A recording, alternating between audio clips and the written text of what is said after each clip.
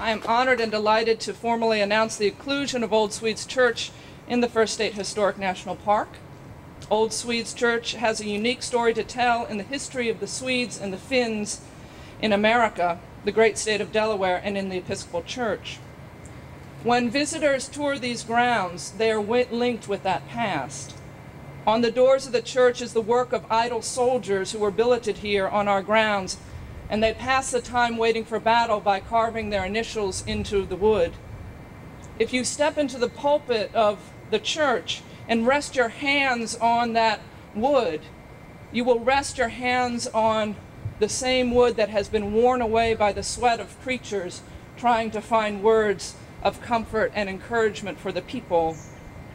But Old Swedes Church is not a monument to the past only. It is a vibrant, living place. On these grounds, we host an annual Easter egg hunt for this community.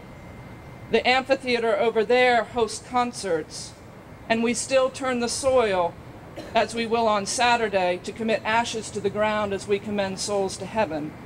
And always on Sunday, there is worship.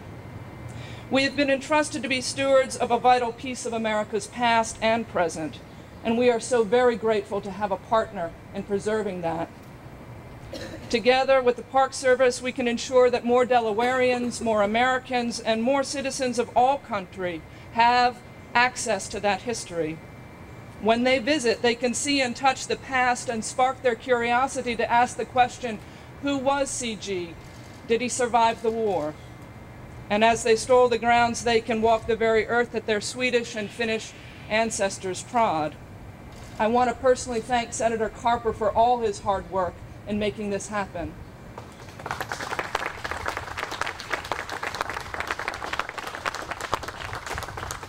I want to thank also the Standing Committee of the Episcopal Church in Delaware and Bishop Wright for agreeing to this easement, and for Superintendent McKinley and your staff for making this happen as well.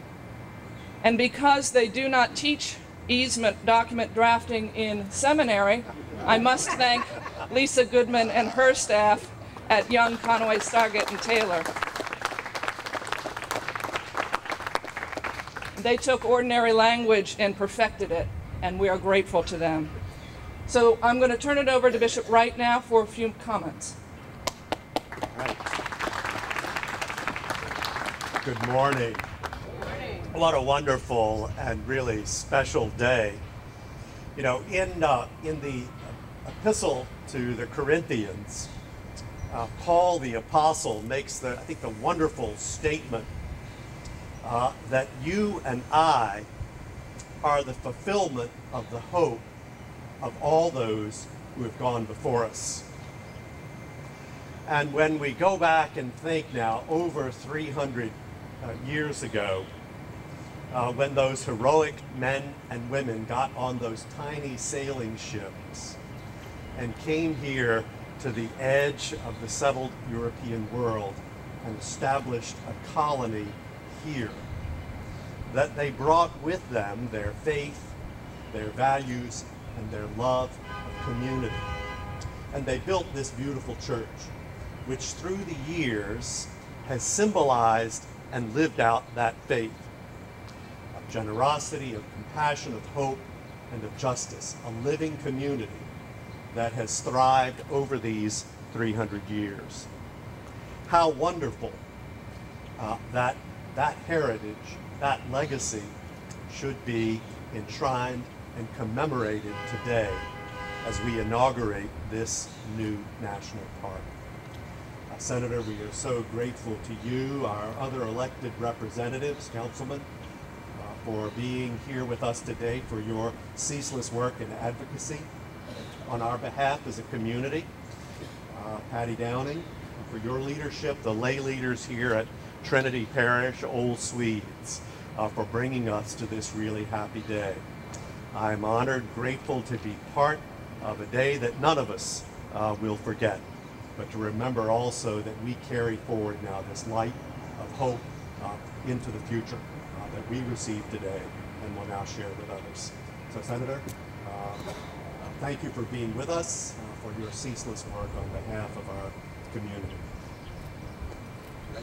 You do. Absolutely. You're next. Thank you, sir. Good morning. Looking good. I'm a day late, but uh, for those of you who are, are moms or love moms, uh, uh, happy Mother's Day. Uh, it's one of my favorite days of the uh, year, and I hope I hope yours as as, as well. Bishop, uh, Pastor, how if you know if you're going to be a superintendent of the like the, the national park in this, in in, this country that celebrates early colonial settlements and living leading up to the ratification of the Constitution wouldn't you want to have that superintendent named Ethan McKinley? I mean, is that a great name? For, is that a great name for a superintendent? It's not his real name. It's Boris. What is it? No, yeah, it was great to uh, be with Rob. Nice to see. Uh, nice to see you here. Uh, I have not been in this neighborhood since.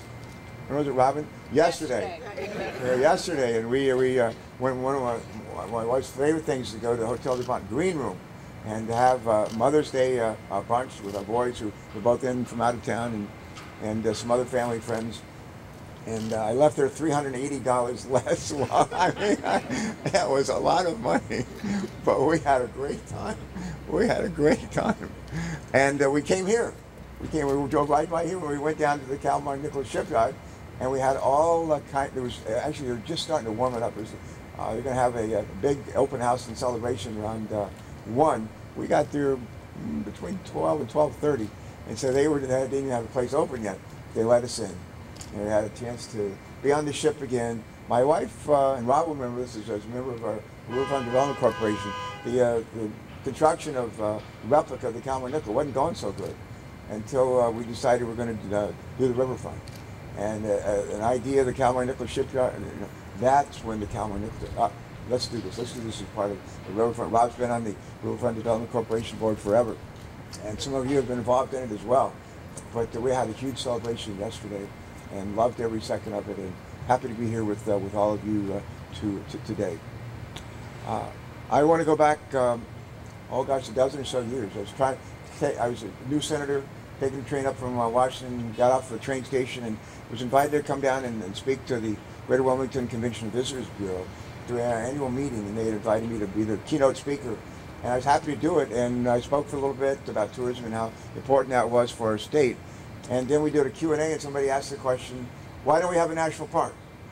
That's the question, why don't we have a national park? And I explained how Joe Biden tried to, to get us a national park down in the Great Cypress Swamp, down in the southeastern part of Sussex County. Unfortunately, it was in a hunting area where a bunch of Sussex County hunters like to hunt and uh, the idea of having a national park in their uh, in their hunting grounds was not of uh, their liking. And I, I, always say that they, they, they, they ran uh, Joe out of there with their guns and everything blazing. That's an exaggeration, but that idea did not get a warm uh, a warm uh, welcome. Anyway, I told him that story that day, and I said, "You asked a good question. Let's let's see if we can go to work on it." And we did. I had no idea it would take this long. But uh, not many national parks have uh, been created in the last half dozen or so years, so uh, it's taken, uh, taken longer than we ever anticipated. I just want to thank uh, Mike Castle, who is a congressman, was a huge help in the House of Representatives. I want to thank uh, John Carney, our at-large congressman now, who's been a huge help in moving the legislation and, and getting including part of a, a, package. I want to thank Joe Biden. I want to thank Ted Kaufman. I want to thank certainly Chris Coons for being my wingman on, uh, on this on this project in the, the U.S. Senate. I want to thank some people uh, that uh, you may have heard of, maybe not. A guy named Dirk Kempthorne. Dirk Kempthorne, Secretary of the Interior, former U.S. Senator, former governor of Idaho, Idaho. Huge help during the uh, last part of the, the Bush administration getting the National Park Service to, to take serious this, uh, this idea. I want to thank his successor, Ken Salazar, who is a, a fairly new senator, and the uh, and former colleague of mine in the U.S. Senate became Secretary of the Interior. And he came to see me. We talked about the national park in 2009. He's a good dear friend, and he said to me these words: "I would walk to hell and back to get a national park for my friend Tom Carper." I said, "That's a long walk." and uh, I thought, "We're going to get this done, God. Thank you. This is good."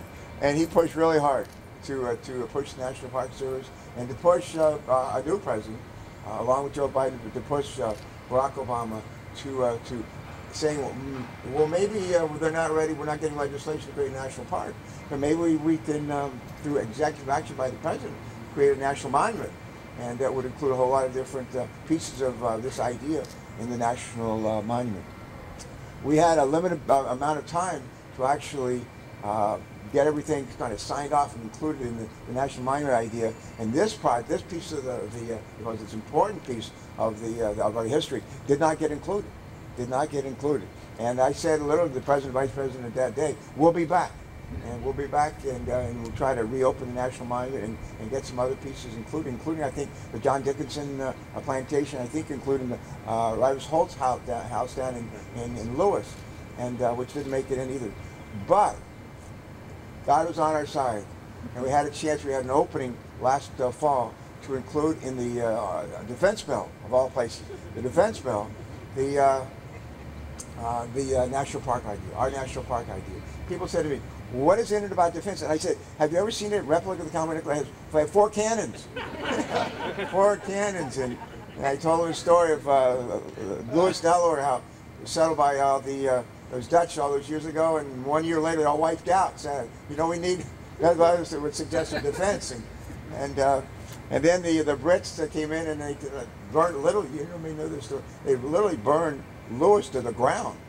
And uh, in a tug of war between the Brits and the Dutch, and there was one house standing, one house standing, and it's the Ryves Holt's House, one of the longest standing houses in, uh, in North America. This is the maybe, I think, the longest continuously operating place of worship in North America and the, the, uh, the, longest serving pulpit. I mean, it's incredible history. We got down in the south of Dover Air Force Base, the, the place where John Dickinson grew up, the penman of the Revolution who incited the, col uh, the colonies to, to rise up against the tyranny of the British throne. The, uh, here were the first, the first uh, Swedes and Finns came to, to America and landed and, and uh, named the river after their child queen. The queen of uh, Sweden was about eight years old and uh, they were looking for a place that didn't have a sales tax. And he said, "This, I bet they don't have one here." And uh, talking with some of the Indians, and he said, "Never had it, never will." And so they said, "This could be a this could be a good uh, a good place for uh, for that." And built uh, uh, Fort Christina, and they said, "Let's call this the colony of, of New Sweden." And that was just part of what what's going on here. Down the road a little ways, down the river a little ways. Now, William Penn didn't come uh, to this America through Penn's Landing in Philadelphia. He came to America through Newcastle, Delaware. And that's why there's that big church right outside of Newcastle Presbyterian Church, close to the Episcopal Church. A big statue, life, bigger than life statue of William Penn, bringing the, the, the, the documents that created Pennsylvania and Delaware. Then won until uh, December. I don't even want to say I don't know, June 16, 1776, something like that, when Delaware gave Pennsylvania its independence. And, uh, and Separ we separated. We let them go free. They've done, I think, pretty good. And then uh, famously, we, uh, we have any runners here? Do we have any runners here? Have anybody here who runs the Caesar Rodney Half Marathon? I've run it a few times.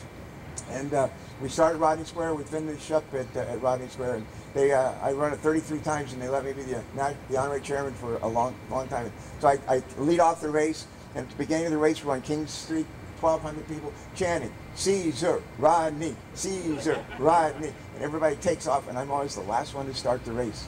And I, then I try to pass people.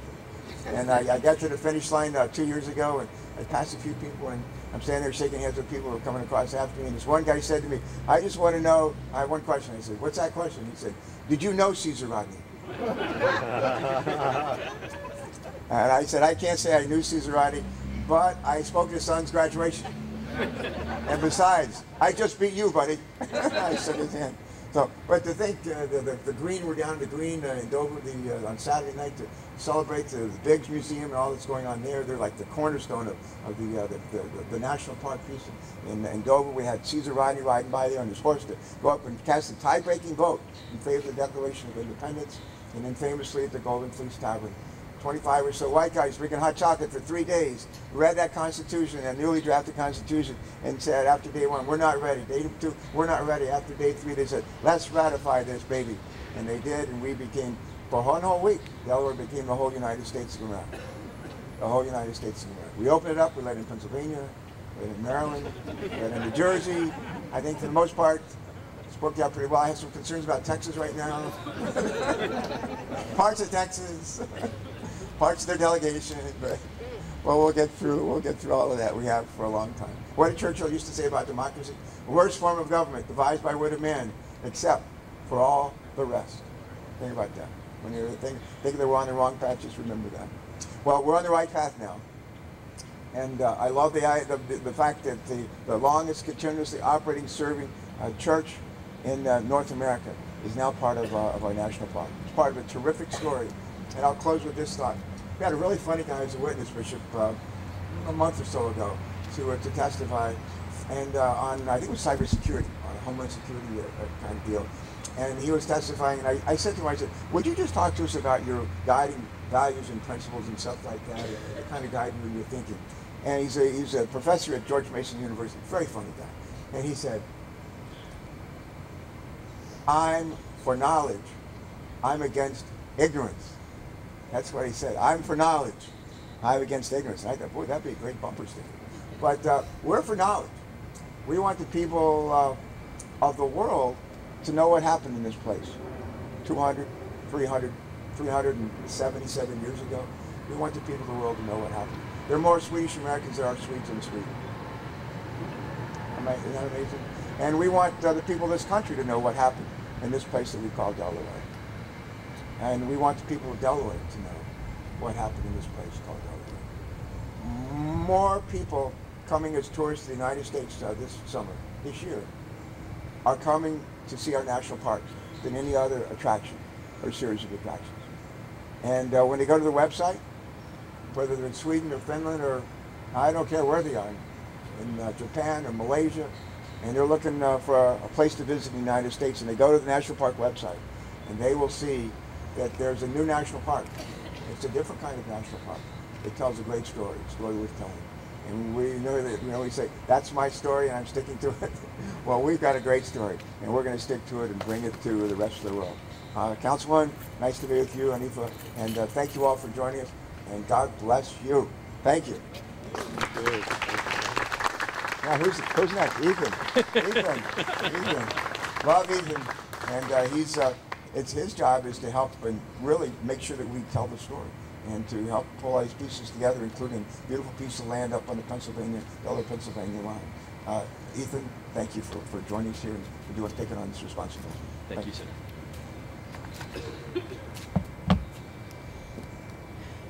So I had to follow his act on Saturday night as well, and it's always a tough one to follow. so I'm going to keep it brief. Um, we are grateful as a National Park Service, as First State National Historical Park, to be here today uh, here with Old Swedes Church, uh, here at uh, the oldest continually operating congregation in the country.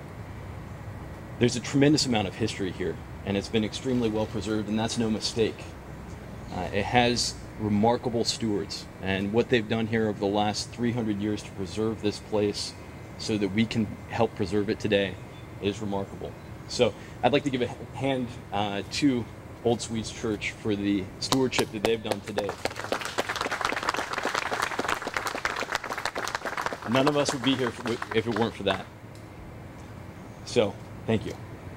Uh, Old Swedes Church represents an invaluable piece of Delaware and American history. It's from our roots that we can trace religious freedom in this country, and there are few better representatives of that religious freedom than this church. European colonialists brought with them their religions, and over time, as they formed into the United States, there at the Green in Dover, where they decided to sign on to the Constitution, they decided that their European roots were no longer as relevant as their new American nationalism. And that American nationalism called for religious freedom. So here we are at the oldest continually operating congregation in the United States to celebrate that fact to celebrate Delaware's history as part of United States history, and along with six other sites to establish a new National Historical Park. So thank you for being here. Thank you for your participation. And I believe we're going to move over to this document. And with this signing, Old Swedes Church will become part of First State National Historical Park.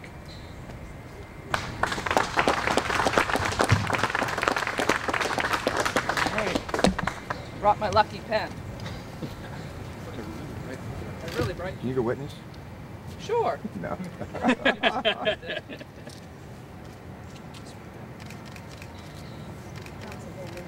Boris? Yes. Come on. Shaniqua's here. And then if you would stamp this, that would be great.